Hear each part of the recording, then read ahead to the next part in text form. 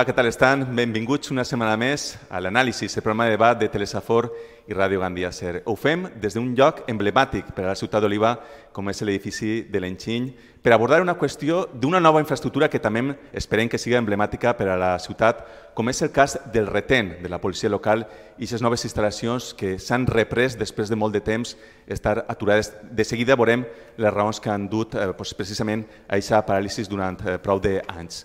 En qualsevol cas, és una, una qüestió relacionada amb la seguretat que anem a abordar els nostres contertulis en representants de la Corporació Olivera. Iniciem eh, la, aquesta presentació, com no, en el govern, en aquest cas, en Josep Escrivà.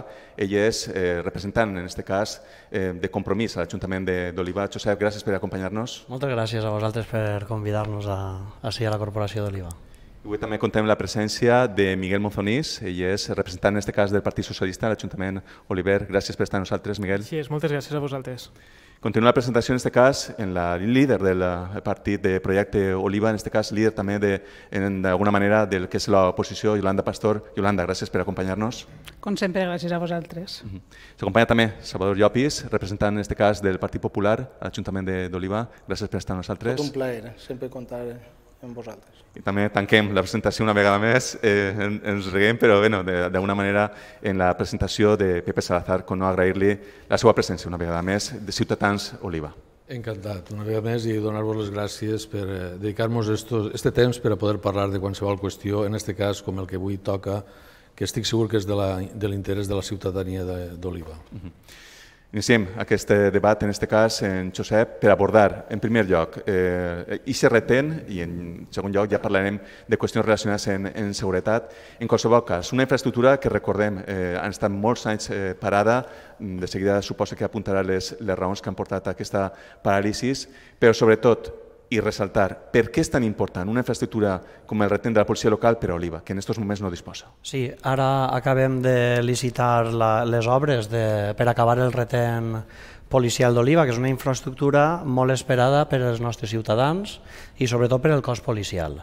Què suposa aquesta infraestructura? Aquesta infraestructura suposa, suposa que tot el cos policial quedarà recollit en, dins d'un edifici en aquests moments el tenim atomitzat, el tenim en dos edificis i això té alguns problemes de logística a l'hora d'organitzar-se. Quan parles de problemes, de quin tipus? Problemes de logística, doncs, la jefatura la tenim en, en, un, en un edifici que està a uns 300 metres, metres del retén provisional.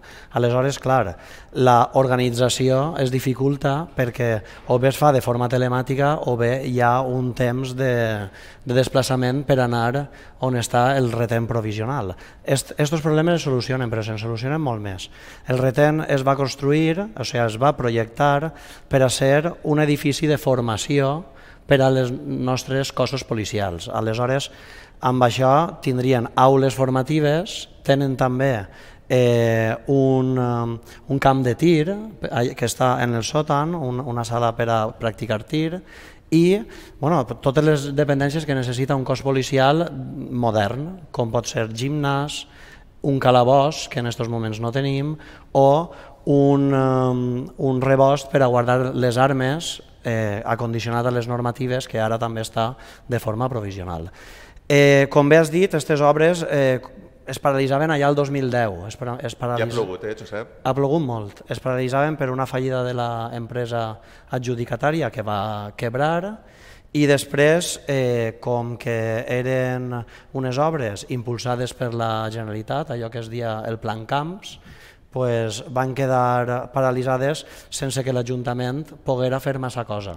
Hasta que cap allà el 2013 començar, van començar, o sigui, tres anys després, des d'Oliva es va reivindicar, recuperar aquesta responsabilitat, recuperar la, la gestió i cap allà el 2015, si mal, si mal no m'enganya, eh, és quan ho vam poder eh, rebre.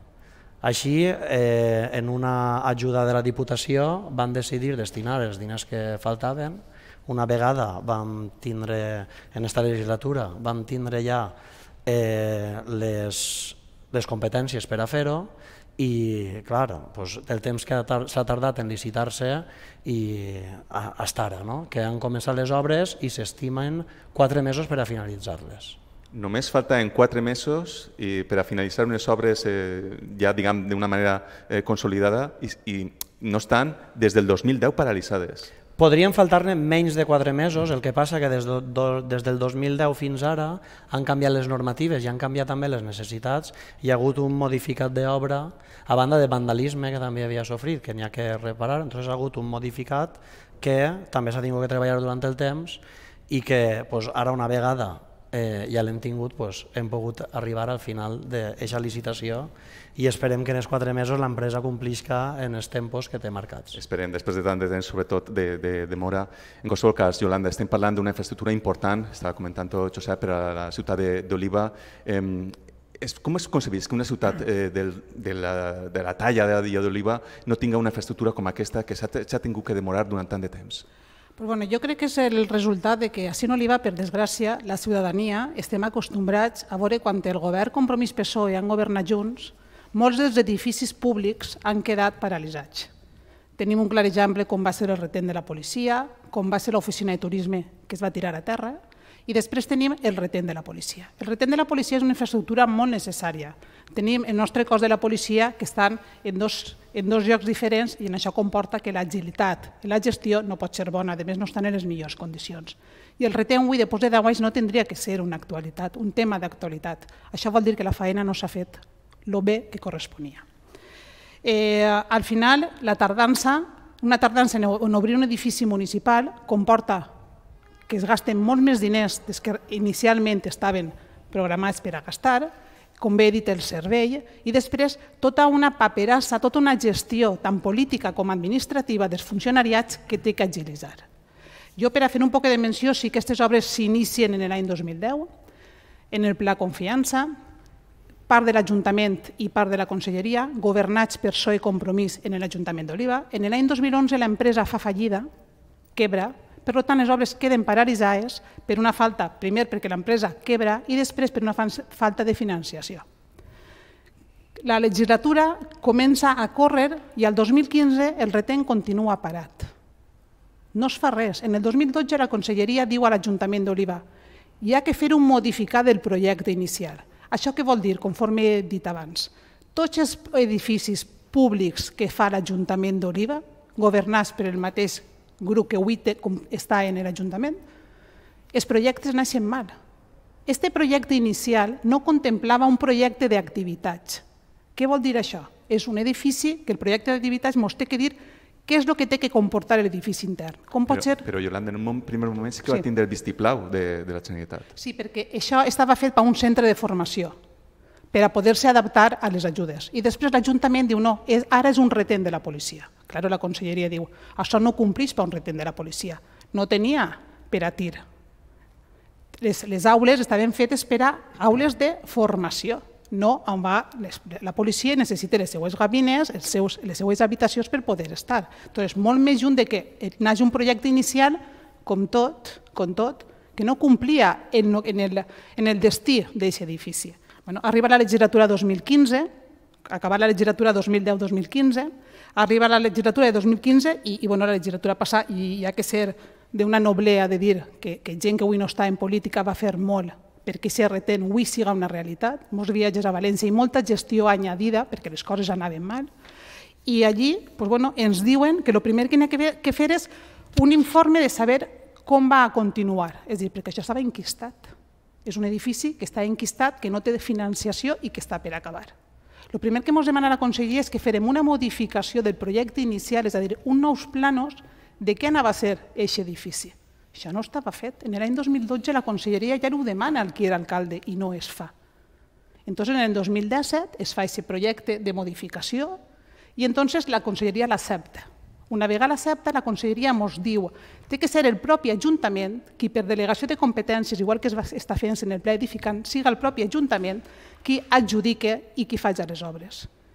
Bueno, doncs, quan tot això ha estat clar i això ha comportat molt de temps, una per deixadesa i l'altra perquè bueno, doncs el temps ens ha menjat, com sempre en l'Ajuntament d'Oliva, perquè tot, tot naix mal, doncs es van aprovar les delegacions de competències en l'any 2000 en el plenari per acord de totes les forces polítiques i, bueno, i una vegada tenim això, ara s'ha pogut licitar en la financiació dels fons de la Diputació 2020-2021. Mm -hmm. Miguel, en qualsevol cas, estem parlant d'una infraestructura, estem veient molt, molt de retard. Eh, podríem eh, saber exactament el que ha suposat portar unes obres en un temps a portar-les en unes altres, en referís. Quin cost afegit ha tingut per, eh, per Oliva, en definitiva, per a la ciutadania, eh, que aquestes infraestructures no estiguin fetes en un determinat moment? Evidentment, la infraestructura, quan es comença en 2010 i es va veure paralitzada eh, a, principis de 2011, fins que es va declarar la, la insolvència de l'empresa i es va rescindir el contracte definitivament en l'any eh, 2012, eh, evidentment ha hagut una degradació de l'edifici que també s'ha tingut que contemplar en el, en el modificat de projecte del que estàvem comentant abans, que es va fer en 2017. Per mi sí que m'agradaria apuntar que és cert que quan aquest govern es va formar, en, en 2019, la situació contractual que ens vam trobar també per la part de la policia eh, era molt millorable i una de les voluntats que teníem des del govern i també des del Partit Socialista era el donar aquesta solució a tots els contractes que teníem en l'Ajuntament d'Oliva eh, de manera diria, irregular, entre els que estava pressupostíssim el, de, el del retent de la policia. I jo sí que voldria apuntar que, que sí que des de que es va fer aquesta modificació de projecte en 2017 i es va aprovar definitivament en 2018, eh, sí que s'ha hagut una agilitat a partir d'esta legislatura per a intentar tirar endavant aquesta infraestructura. Recordem que a principi de l'any 2020 va haver una paralització dels terminis degut a la, a la pandèmia, però tot i això sí que es va poder eh, fer aquesta adhesió al, al, aquest pla de finançament de la Diputació, com estàvem comentant, que només es va estar recolzada per part del govern, també m'agradaria apuntar, que es va fer en juny de 2020, una vegada es van poder reprendre els terminis degut a la, a la paralització per la pandèmia, i, i jo sí que voldria un poc apuntar aquest canvi de dinàmica que hem tingut en aquesta legislatura perquè fa a l'agilitat en la tramitació, en aquest cas parlaré del retent, que en 2020 va, ens vam adherir a aquest mètode de finançament eh, de la Diputació. En setembre del 2020 ens van eh, confirmar efectivament que podríem disposar d'ell i ara ja en octubre ja hem tingut aquest inici de les obres, com bé comentava el meu company, que ja s'ha fet i si, i si tot va com tots desitgem, en, en apenes quatre mesos tindrem finalitzat el retent de la policia. És cert que és un edifici que va néixer amb moltes complicacions, eh, per lo que tots sabem, per aquesta fallida de l'empresa també estàvem en una època de crisi eh, a nivell nacional i també va afectar l'empresa que, que estava fent aquestes obres. Però sí que és cert que si revisem un poc l'històric, jo crec que sí que podem estar dintre d'aquesta legislatura satisfets per la tasca que s'ha fet, sobretot en contractació i també en Hisenda per aquesta eh, recerca del finançament tant a la Diputació com a la Conselleria, com també de fons municipals, de fons propis, per a poder finalitzar aquesta, aquesta infraestructura que pressupostíssim és molt important. Miguel, està demostrant-se, pel que comentava Yolanda, eh, molt pràctic i la veritat que ha desbloquejat una qüestió com és eh, aquesta del retent i iniciar eh, una licitació per part del propi Ajuntament. Eh, està demostrant-se com una qüestió pràctica i realment eficaç. Sí, així com bé comentava Yolanda, també s'ha fet en els plans edificants, però no va ser fins 2017 que vam rebre aquesta competència de la part de la Conselleria per a poder nosaltres, l'Ajuntament d'Oliva, eh, fer front a, a aquest contracte. En aquell moment es va fer un contracte menor per a poder eh, redactar el modificat del projecte eh, que hem comentat i ja va ser després de tindre aquest modificat, ja dintre d'aquesta legislatura que es va poder eh, fer efectiva la, el procediment obert per a la finalització del, del retent. Uh -huh. Salvador, una infraestructura demandada per a la ciutat en molt de retard. Sí, a veure, tots sabem que el retent de la policia era necessari per a la ciutat d'Oliva. És més, si tirem arrere en anys anteriors, la, el mateix cos de la policia eh, era un cos que estava prou oblidat pels diferents governs que, que passaven en, en l'Ajuntament. I d'ahir les seues reivindicacions. Eh, recordem que van arribar a estar patrullant els agents amb xalecos antibales eh, caducats. Eh, sols teníem dos patrulles eh, per a patrullar inclús el terme d'Oliva, que és molt gran, terme agrícola, i d'ahir que, que la veritat que, que fora eh, molt, molt necessari. Però què ha passat o, o què hem tingut per a que aquest retent tinguera que, que portar-se a cap? Doncs pues, bueno, hem arribat a tindre la policia local dividida en tres espais diferents. Ara, actualment, com han dit els companys, estan en dos llocs provisionals, però molt separats d'ells. I això sí que redunda en la, eh, cap la gestió cap al benefici dels nostres ciutadans en seguretat. I bé, nosaltres pues, el, que, el que necessitàvem ara és que, que el retent es portara a cap, però també tenim que recordar, i així tots ho han dit, que, han, han, que és han donat la culpa pot ser a aquests llargs anys de, de paralització perquè va haver una quebra de, de l'empresa. Però tenim que recordar que en el 2010 es comença el retent però l'empresa, al principi la fetge que hi havia per acabament era de 9 mesos i mig. L'empresa quebra quan ja ha passat més d'un any de l'anunci de, de començament de obres. I hi ha un punt molt important que és on jo critique la gestió de l'Ajuntament, i és que sempre ocorreix que eh, fa falta un modificat. Ese modificat, doncs, la tabiqueria no complia les normatives, el camp de tir, eh, teníem problemes en, el, en, la baixa, en, en, la, en la baixa tensió, en la, en la baixa tensió de luminària de, del retent. N'hi havia molts problemes que que, per exemple, no tenen altres ajuntaments per lo que vos deia en el debat anterior que vam fer fa unes setmanes. Les altres poblacions tenen un fos d'armari i quan arriben les subvencions trauen aquest fos d'armari i el projecte. Així no sabien ja que feia falta un retent? Clar que sabien que feia falta un retent, però no estava programat. I després de, de quan volem, recibim les subvencions i volem treure els diners, doncs ixen els problemes, ixen les modificacions i tot això fa que s'atrase el, el retent. Perquè mira, Eh, la ciutat s'ha de pensar abans de les subvencions, no fer la ciutat quan rebem els diners. Entonces, la veritat, això és el problema que té aquest Ajuntament. I l'antídot és aquest. L'antídot és tindre un fos d'armari en un pla general, un pla d'UCI, un pla de mobilitat, com van dir la setmana, fa unes setmanes, que tampoc comptàvem en aquest pla de mobilitat. Per tant, l'Ajuntament no podia comptar en certes subvencions que ens puguen arribar, i això és un, un error completament de la gestió dels governs d'alcaldies de Compromís i, i PSOE. I estic segur que, que espere que això siga tot un exemple de lo que en un futur no, no té que tornar a passar, perquè ja no sols és el, el problema del retent, el trinquet ens va passar, el centre Olivens el tenim a pocs metres d'ací d'igual forma, l'edifici de l'Almàcia també el tenim en problemes, i això és un continu, és que no, és estrany trobar un, una sola obra que del primer moment hagi estat eh, correcta, Enrique. Pepe, eh, vostè d'alguna manera ha estat mm, en aquestes darreres legislatures, ho ha viscut eh, en car pròpia eh, aquesta qüestió. Ha sigut una trajectòria molt important, molt, molt llarga per a, a acudir i arribar al punt en el que estem. Sí, eh, òbviament ha sigut així, ja portem molts anys, conforme ja han dit, bàsicament són 11 anys de paràlisis de, del projecte este, que en un principi tots el vam veure amb molta il·lusió, tenia molta il·lusió perquè realment era necessari, perquè bé, jo recordo doncs les instal·lacions de la policia local, inclús eren encara pitjor que les tenim avui, estaven totes centrades en el que és avui l'oficina d'atenció al ciutadà, pràcticament en un racó fosc que allò era deplorable, penós. Avui, encara que no són les adequades, que, són, que estan partides en dos locals, una que està a la mateixa en el retent de l'edifici municipal i l'altra en una oficina i, diguem, una oficina i la carretera, que estan partides, però, òbviament, no, són, òbviament no eren suficients. En aquell moment van apostar a través del plan confiança per fer un retent de la policia, encara que en un principi va néixer com a centre de formació. Òbviament, el que va vindre a continuació va ser la fallida de l'empresa que es va quedar eh, l'execució de les obres. Es van sentir un poc també oblidats per part del govern de la Generalitat, que pràcticament ens va tindre quasi quatre anys sense donar cap solució, no?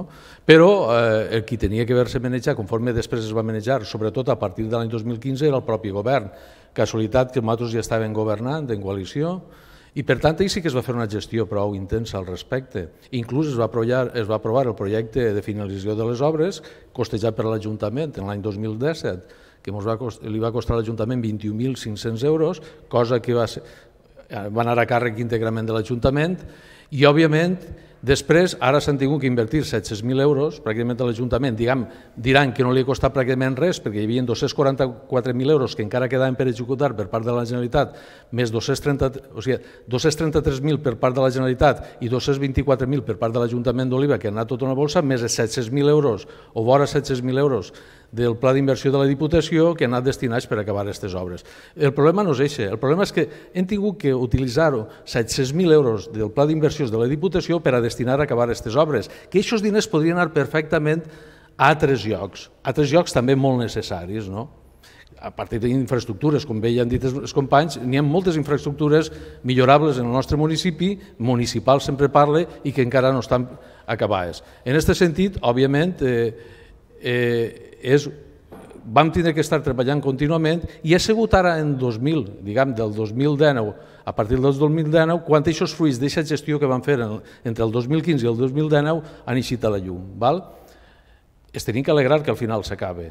Però tot això parteix d'una sèrie de deficiències a l'hora de gestionar els projectes urbanístics, que és el, diguem, el nostre taló d'Aquiles, si el nostre Ajuntament, no hi ha ningú projecte, o molts pocs projectes, millor dit, que no hagin tingut algun problema al respecte. I això és el que ha fet que a l'Estrat en gran manera el després el poder executar aquests eh, projectes. Ja s'ha dit així el centre olivense o recordar el que va passar en el nou trinquet també, que van, després van tindre que acabar i costar-nos un dineral també. Òbviament, conforme he dit, és molt millorable la gestió municipal en molts aspectes. I també en aquest aspecte, encara que s'ha fet tot el possible, fins que no han lograt les competències directes, sí que han tingut que patir les conseqüències. Les conseqüències d'una administració autonòmica que durant quatre anys pràcticament no, va, no va fer la feina que esperaven que fera per a des, eh, descongestionar o descongelar, o descongelar la situació que venim lastrant com a conseqüències de la paràlisi d'aquestes obres i després l'Ajuntament és el que va tindre que fer-se front posant els diners necessaris per a poder i agarrar les competències per acabar l'obra. Ara falta no solament la construcció de l'edifici, el manteniment, dotar-los de, le, de les necessitats des del mobiliari, de les sistemes informàtics i tot, per a poder tindre un edifici en les millors condicions possibles no anem a conformar-nos en el que ja tenim, sinó en, en el nou edifici n'hi haurà que dotar-lo dels últims eh, avanços informàtics que toca per a poder que sigui un edifici com cal i que, done la, que done, ho faci les funcions que la policia i la ciutadania demana de, de, eh, en base al nou retén de la policia. Anem a deixar ja la qüestió del, del retén. En qualsevol cas anem a iniciar una segona ronda en què abordem ja mm, d'una manera més genèrica el tema de la seguretat. Iniciem esta ronda en, en Josep, parlant precisament de mm, el que és l'essència en si, la policia local. Com està en aquests moments el cos de la policia local? N'hi ha suficients agents? Eh, hi ha hagut una regeneració, eh, una eh, major joventut al nombre d'agents? Com està la cosa en aquests moments, Josep? Miren, eh, per a ser sincers, crec que suficients agents mai ne tindríem. Un terme com el d'Oliva és molt gran, eh, té molta complexitat de gestionar i mai podríem quedar-nos satisfets en tindre el número d'empleats municipals treballant per a, per a ell, perquè tots, jo crec que en això coincidim, volem donar un bon servei a la ciutadania. La plantilla de policia en aquests moments està en, en 57 actius. Eh, este matí he anat a preguntar-li al cap de policia perquè ell, des de la seva experiència, en contara eh, l'evolució que ha tingut i en comentava que allà el 2001, quan ell va entrar, eh, de cap de... Bueno, quan ell va entrar a la plantilla, que no era cap de policia, que eh, eh, és de fa poc, hi havia 68 agents. Val? Entonces, la plantilla s'ha vist minvada. Eh, veiem que ara hi ha menys agents, eh, n'hi ha que comptar, perquè ens pot pareixer una xifra molt alta, però n'hi ha, ha que comptar que els policies treballen a tres torns, treballen de matí, de vespre i de nit, aleshores aquesta plantilla es divideix per tres, no? si vols cobrir tot l'aspecte, i després que hi ha policies que passen una cosa que es diu la segona activitat, que és que no poden exer exercir aquesta funció completa de policia i fan com uns treballs alternatius. I és que puguen estar també de baixa. Aleshores, sincerament, la plantilla de policia en Oliva pues, pot quedar-se curta. Eh, és molt pessimista no? este discurs, però tenim la bona notícia de que ens hem posat a treballar per a poder aplacar això i que les normatives estatals també ens acompanyen. Moltes vegades eh, tirem, eh, enfoquem a les normatives estatals perquè és veritat que portem molt de temps, eh, no ens faltarem de dir-ho, totes aquelles normatives Montoro que tant hem criticat i que segueixen estrangulant els ajuntaments, eh, poquet a poquet han anat eh, fent-se més laxes. Eh, hem passat de tindre ninguna tassa de reposició... també, a part, que això ha generat estalvis, uns, uns estalvis. Això, això ha generat uns estalvis, però en el cas de recursos humans no és el mateix cas que eh, eh, fa aquesta dicotomia, no? de tens molts diners però no estàs empleant a gent. Per què? Perquè n'hi ha una cosa, una restricció que és la tassa de reposició que va estar tancada durant molt de temps. La tassa de reposició, per entendre-ho, no? per explicar-ho de forma més fàcil, és quantes persones pot reemplaçar cada volta que es jubila algú. Pues van passar de no poder reemplaçar a ningú, es jubilava gent i no podia reemplaçar-los, eh, va vindre per mig també eh, un, una nova normativa que deixava que els, que els policies pogueren jubilar-se abans, aleshores se'n van jubilar molts sense capacitat de reemplaç restringida per la llei i ara en els últims temps ha anat ampliant-se aquesta tassa de reposició, primer al 50% de cada dos que es jubilaven un, després al 100% i ara està al 110%.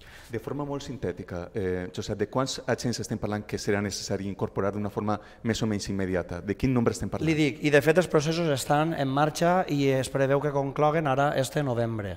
I a final, de, o sigui, a principi del trimestre del trimestre de l'any que ve, tindríem una altra vegada el nombre de policies pel qual va començar el nostre CAP, no? que serien 68. En, en la salvetada que fa 20 anys en la salvetat de que fa 20 anys, però també hi ha avanços tecnològics que fan que la policia siga prou més eficient. Uh -huh. Hi ha avanços tecnològics que són eh, càmeres de vigilància que també es preveu eh, posar-ne. Són recursos com són eh, tres cotxes de policia híbrids que hem, re hem rebut fa poc, també amb, amb ajudes de subvencions perquè són eh, híbrids, són elèctrics, són subs.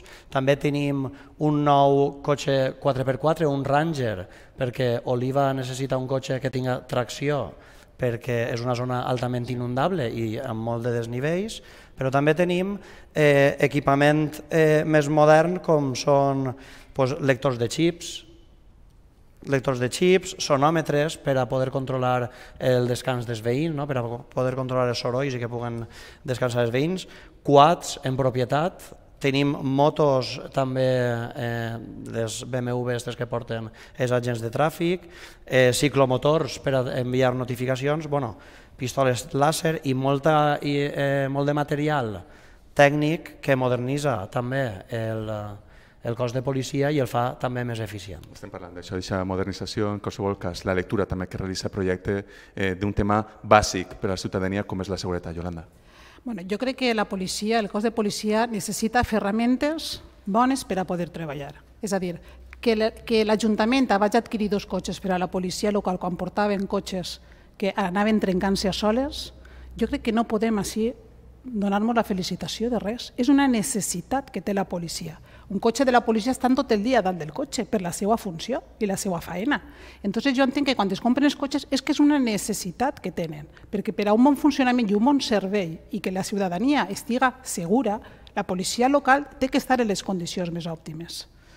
Hem parlat del retén, que estan com estan, i després, és dir, la nostra policia local no té un programa informàtic de gestió per agilitzar les proves faena que té ells. És a dir, ells fan molta informació, molts informes, molts atestats, és la seva tasca. Entonces, no n'hi ha un programa en una base de dades que arreplegue totes aquestes coses que fa el policia que està en el torn de matí i el policia que entra en el torn de vespre. No n'hi ha comunicació. A lo millor el policia que entra de matí ha fet l'informe i no el pot canalitzar en ninguna base de dades perquè la gent que entre de vespre vega on està aquest informe. La nostra policia local no pot mirar els guals si estan al corrent o no. És dir, la policia, per la faena que té i la tasca que fa diària al carrer, té que tindre una connexió en els departaments de l'Ajuntament. Guals, el padró, no tenen.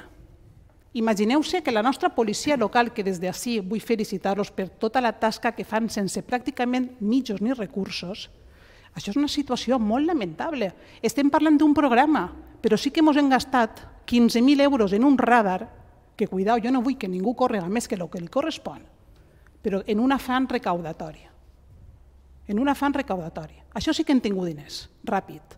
I les, les denúncies que han posat, que seran mils, mils, perquè la població no es pot anar a més de 30. Però fent campanyes, fent campanyes i no, el primer que fem no és fer el paperet que jo entenc que tinc que anar a 30, intenten anar a 30, però si vaig a 35 ja m'ha pillat el radar.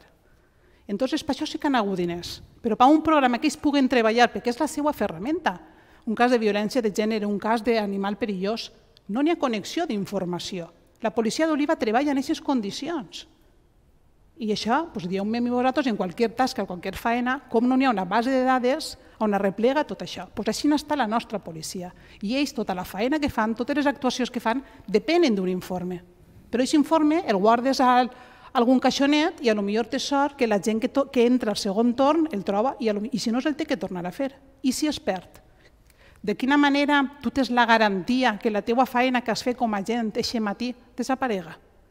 Entonces, esa, és la, esa és la situació que té la nostra policia. Està molt bé parlar del retén, perquè és una necessitat, que ja ho han dit, però el que acaba de dir és molt greu. I el govern ha manejat 5 milions d'euros d'estalvis i no ha pensat en el segon punt que siga un programa de gestió per a la policia local? Jo crec que no poden donar-se... I, i, i, no sé, jo l'alegria que té el govern m'agradaria compartir-la de veritat, però no la puc compartir per ningú puesto, perquè parlen d'un programa informàtic. Eh, el tema de, de la seguretat, pues bueno, este estiu hem tingut dos patrulles patrullant tot el poble d'Oliva. La casuística de la nostra població sabem quina és, té moltes urbanitzacions, a més allà és. Dos patrulles en estiu per tota la població. Aquesta és la situació que té la policia local. Estan fent més del que poden. Més del que poden. Entonces, tot això és el que n'hi ha que reivindicar, perquè no es mereixen estar en aquestes condicions. I el govern, que per favor, que prenga nota, però de les coses reals que necessita per el bon funcionament, perquè després no es pot exigir perquè no estàs donant els mitjos perquè puguen treballar en les millors condicions. M'agradaria fer un xicotet apunt. Sí, Ràpidament, perquè el tornes de Miguel. Sí, m'agradaria apuntar que a dia d'avui l'Ajuntament d'Oliva es treballa tot en digital a través del gestor d'expedients general, que no es treballa en papers que van a carpetes ni a caixons. La policia no. La policia no Ara, ara No, de eh, seguida, en entonces, el torn de eh, conclusions, i- eh, pot, pot I incorporar després alguna, que alguna sí que, més. sí que està en el pla fer el, pos, eh, contractar el programa de policia que està molt sol·licitat per policia, el que passa que hem prioritzat el de la gestió de recursos humans i la modernització del gestor d'expedients perquè creiem que va davant de l'altre. Ara de seguida ho, detallarem. En qualsevol cas, Miguel, estem parlant d'una qüestió bàsica per a la ciutadania, com és el tema de la seguretat. Eh, apuntava la senyora Yolanda Pastor i s'ha necessitat d'aquest programa, ja també ha apuntat el senyor Josep eh, com està la, la qüestió, però en qualsevol cas, i el que és evident, en aquests moments estem en un moment de transició a la ciutat d'Oliva en una qüestió tan important com és este, el de la seguretat. Sí, exacte, i des del govern sí que hem treballat aquesta legislatura en dotar a la policia local de tots aquests mitjos que, que han anat, que la prioritat l'ha marcada ells. Ha vingut marcada des del mateix Departament de Policia Local. A mi sí que m'agradaria eh, recordar que des del Departament d'Hisenda s'han mobilitzat 165.000 euros per a la compra d'aixòs vehicles que apuntava eh, Josep abans, els tres vehicles elèctrics, més el todoterreny, que també és molt necessari per a poder fer la correcta vigilància del tema municipal de la nostra ciutat. A més a més, també s'ha fet una, una grandíssima inversió en, en equipaments, en la renovació de la senyalèctrica vial. És cert que hi havia moltíssimes necessitats eh, i també dintre del Departament de la Policia Local, perquè eh, són necessitats que estan descobertes des de fa molts anys i aquesta legislatura i aquest govern el que està intentant és anar cobrint a poc a poc totes aquestes necessitats que, que té en aquest cas la policia local, però també de tants altres departaments. També s'han fet eh, inversions en les eh, màquines de pintura vial, que també depèn de la policia local, per poder renovar aquesta pintura vial de, de tota la ciutat. També s'ha fet aquest contracte d'uniformitat que no existia. Estaven adquirint-se el, el material dels uniformes de la policia sense el, el correcte contracte dintre de, de l'Ajuntament. També és una situació que s'ha regularitzat aquesta legislatura. Des del Departament de Contractació s'ha treballat per a poder tindre també eh, aquesta situació eh, totalment reglada, el, el que és el, el contracte per, a, per als uniformes de la policia.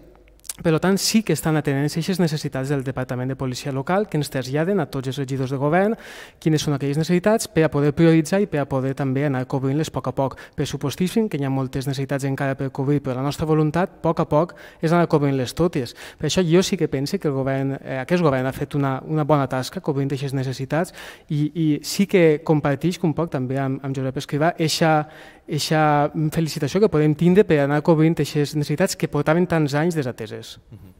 Salvador. Sí, ja, ja he dit en la meva primera intervenció, ho torno a, a repetir, que no tens que pensar en la ciutat quan arriba la subvenció, sinó tindre-la pensar abans de que arribi. I en el cas de la seguretat passa el mateix. Mm, Jo no puc congratular-me, com fan els, els portaveus de, de PSOE i Compromís, perquè la veritat que no és així. En 20 anys d'alcaldies de PSOE i Compromís, eh, com ja ve apuntat el portaveu de Compromís, la, la xifra d'agents ha sigut eh, anar decaent. Però s'ha oblidat una cosa, aba- abans de les, eh, a part de les jubilacions, també tenim que comptar per què agents que estan en plena eh, capacitat de, de treball volen pegar a fugir d'Oliva anant-se a altres ajuntaments a treballar. I això ha ocorrit en un gran nombre de policies de la nostra localitat. I per què, Salvador? Pues ha seva sí, sí, ha sigut degut a que han estat 20 anys reivindicant unes mesures, unes necessitats que tenien, que han apuntat alguns companys, però jo recorde, jo recorde, jo he sigut regidor fa tres, quatre legislatures i recorde que els policies locals anaven a posar gasolina als vehicles eh, quan ells es pareixia perquè no s'anava ni el marcador de la gasolina. Ells mateixos diuen que es va passar una vegada que, que perseguint a un, a, una, a, un, a un vehicle es van quedar paralitzats. Va ser una burla. Això ha passat en aquest Ajuntament. I han estat 20 anys reivindicant i ara mateix que tinguem 55 eh, agents de, de policia més 8 oficials en tres torns, això és lamentable. Com ha dit la, la senyora Pastor, en ple en època estival, que així la població es multiplica perquè venen turistes, hem tingut dos patrulles, dos patrulles per a tota la ciutat d'Oliva. I això que ara vinguen així a donar-nos un, un discurs de, de, de que ens tenim que, que alegrar, que, de que ara ve la, la solució, no, la solució de, de, hauria d'haver estat o és que el problema el tenim ara? Tenim els mateixos problemes de fa uns anys que els tenim ara. A mi que ara diguem que tenim tres vehicles nous de la policia, de què ens serveix si no tenim agents? De què ens servim? Si ens costa eh, contratar els agents perquè les mesures eh, de l'Ajuntament en contratació pues, eh, anem molts anys per darrere d'altres ajuntaments, tenim molts problemes de, de tramitacions i al final tenim 63 policies per a tres torns comptant les vacacions que, que, que, que es pertanyen a cadascun i no tenim gent al carrer. Tenim la gran sort de que contem amb un aquartelament de la Guàrdia Civil en Oliva, això tenim una gran sort, que tenen una gran col·laboració amb, junt als nostres professionals de la policia local i d'ahir pues, que tinguem pues, eh, benefici de que entre la policia local i la Guàrdia Civil pues, tenim uns grans professionals. Però la veritat, no, no compartisc aquest missatge eh, positiu, perquè la veritat que tant a Compromís com a PSOE han perdut tota credibilitat, perquè porten molts anys, no acaben de plegar ara. A mi el discurs de que concebien ara comencem a treballar, ara anem a veure, ara reivindiquem... No, perdonen, vostès porten 20 anys d'alcaldies de PSOE eh, Compromís i no estan per reivindicar res. Vostès haurien d'haver treballat des del primer minut. I ara tenim els problemes per no haver fet la feina quan tocava. Entonces, aquests missatges ho sent molt, però jo trobo que, que s'obren i que s'ha de treballar, sí, però s'ha de treballar correctament. I, i, i res més, jo espero que, que aquests nous agents que puguen entrar en un futur, que sempre ens hem donat la, la benvinguda, i que resem, la veritat que resem per a que no peguen a fugir, com si han fet alguns, que per cert, eren professionals molt qualificats, eren professionals que estaven a primera línia de, en la patrulla, passejant els pobles, el poble, i actualment no els tenim. I recordem, el terme d'oliva, el terme agrícola, és enorme, enorme. Precisament, aquesta qüestió volia abordar en, eh, en l'últim representant, en aquest cas en, en PP, eh, aquest terme tan gran d'oliva, eh, tema de citris, tota l'agricultura que és necessari preservar, evidentment, si a la ciutat no s'arriba, pel que està comentant-se, moltíssim menys a, a el que són els nostres cultius. Pues imagina't, imagina't, estem parlant de 50 policies locals, en total són 58, 50 agents més sis, sis eh, eh, policies de segona activitat, més l'intendent i més l'inspector. 58 efectius tenim. Òbviament cada un fa la seva funció. Tinc que agrair efectivament el treball que fa la policia local d'Oliva i el seu esforç que si bé és veritat que han modernitzat el que és el pàrquing de vehicles, el que és el funcionament intern continua sent pràcticament el mateix que ha sigut i ja portem arrastrant des de l'any 2003 que conec jo, que ja està governant en alcaldes del Partit Socialista i després en Compromís, continuem amb els mateixos problemes interns. Per exemple, eh, estem parlant de 58 policies, però no són 58 policies al carrer. Realment són 50, de 50 són, com fan 7 per 7, dos turnos. O sigui, fan, el sistema que té la policia local és el 7 per 7. Què vol dir el 7 per 7? Pues 7 dies treballat i 7 dies de descans. Val? Vol dir això, que d'aixòs 50 són realment 40, 44, eh, que si li lleves els 3 que n'hi ha de baixes, baixes, baixes llargues, que per cert encara no s'ha solventat el problema, que s'haverà pogut cobrir perquè la llei permetís reposar les baixes llargues, realment les setmanes, a la setmana, quan mucho, quan molt, n'hi ha 26 policies al carrer, per tres turnos, dividits en tres turnos. Per la nit, sols n'hi ha 5 policies. Per tant, estem parlant d'un terme dels més grans de tota, la, de tota la comarca de la Safor. Bàsicament són 60 quilòmetres quadrats de terme, 25.000 fanicades que vigilar. I si no fora també per la col·laboració de la Guàrdia Civil, pràcticament no arribaríem a res. Terme municipal, urbanitzacions de muntanya, de platja i el casc urbà. Pues estem parlant que Per cada setmana només n'hi ha 26, cuando, cuando mucho, 26 policies al carrer dividits en tres turnos. Per la nit 5, per tant és totalment insuficient. I mireu estan arriba la modernització de la policia local en el tema administratiu. Avui encara estan treballant en el sistema Word per donar els partes interns. No tenen un sistema informàtic on plasmar qualsevol, qualsevol informe i que quede registrat.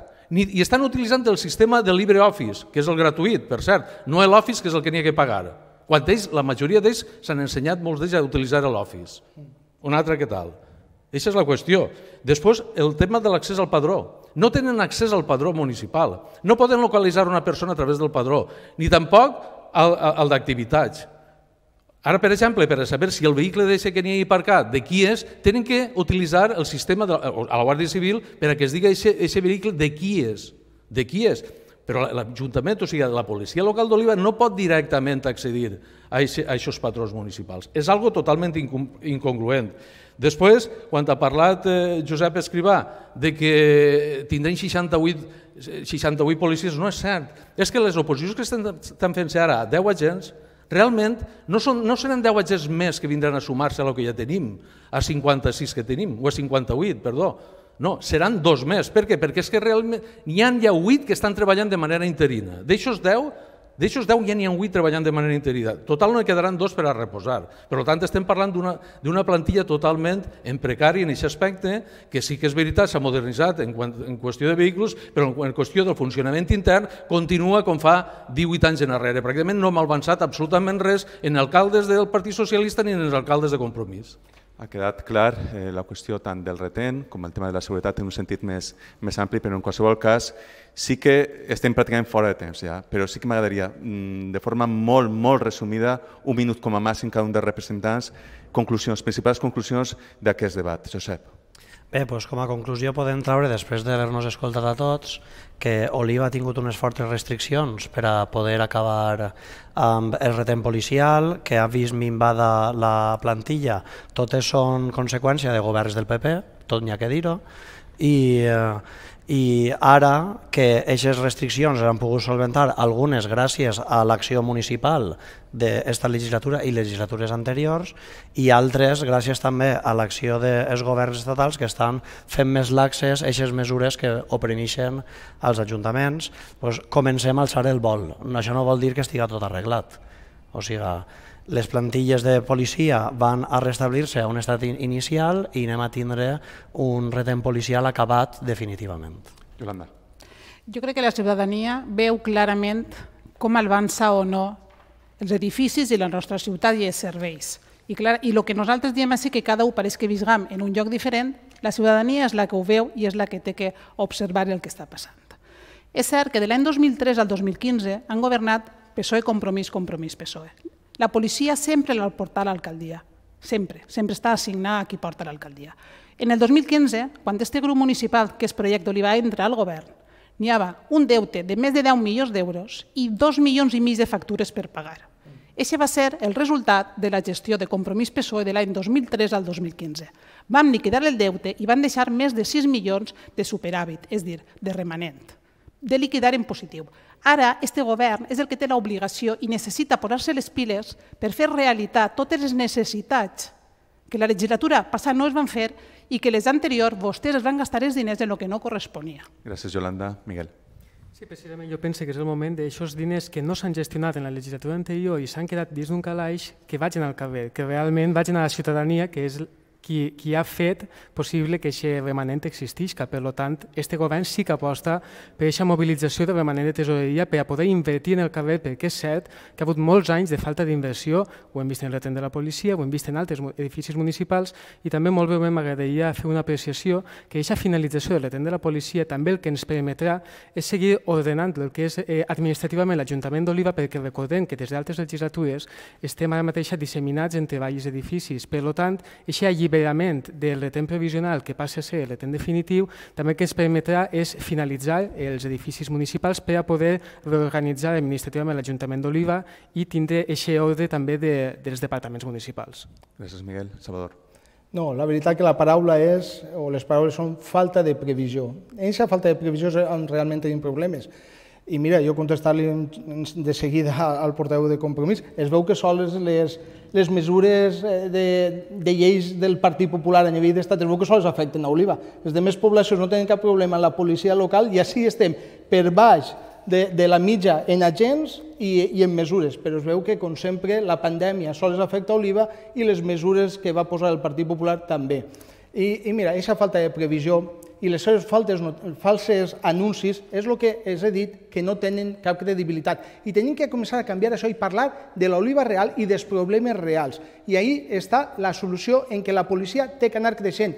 I vostè, com a cap de personal, senyor Escrivà, eh, vostè és el que està en les meses de negociació i el que pot fer que el nostre cos de la policia local puge i no vagi menguant com, com estem realitzant-se des de fa uns anys i més des de que vostès porten el Departament de Personal. Gràcies, Salvador. Pepe. Bé, òbviament, el govern d'avui en dia de l'Ajuntament d'Oliva pot eh, donar-li les gràcies a l'oposició. A l'oposició que està avui, que va estar governant la legislatura passada, que va ser capaç de pagar 10 milions d'euros que es devien als bancs per gestions que venien de darrere PSOE i Compromís, i damunt deixar això 6 milions, com bé s'ha dit ja per part de la regidora de, de superàvit, òbviament. Però jo torno al mateix al principi. El retent de la policia està molt bé, que s'acabi i ens alegrem tots, però el retent de la policia en si mateixa no va millorar aquest funcionament de, intern de la policia que acaba de dir en la meva intervenció anterior. Sí que donaran millors condicions de treball, però realment el que hem de fer és organitzar com Déu mana, reposar com Déu mana la policia, els, els agents que facin falta reposar i utilitzar les lleis com toca en benefici del de sistema o el funcionament de la policia local d'Oliva. Avui dia tenim una RPT de l'any 2007 que encara n'hi ha policies que fan funcions superiors a les que es corresponen, sin embargo, no estan contemplades ni econòmicament aquestes responsabilitats que agarren per damunt de lo que haurien de fer-ho. Això és algo inaudit i que no es pot tolerar. Per tant, retent de la policia local està molt bé, però millor estarà una bona organització de la policia local d'Oliva, que encara per avui, per avui no estem. Tema de la seguretat, hem abordat qüestió del retent, una seguretat en, en sentit més ampli, la ciutat d'Oliva. Agrair a Pepe, a Yolanda, a Josep, a Miguel i a Salvador, una vegada més que hagin estat així acompanyant-nos en Telesafor. Esperem que també us hagi agradat aquest debat i ens emplacem, com no, a la setmana que ve en moltes més qüestions en anàlisis, així en Ràdio Gandia Ser i en Telesafor.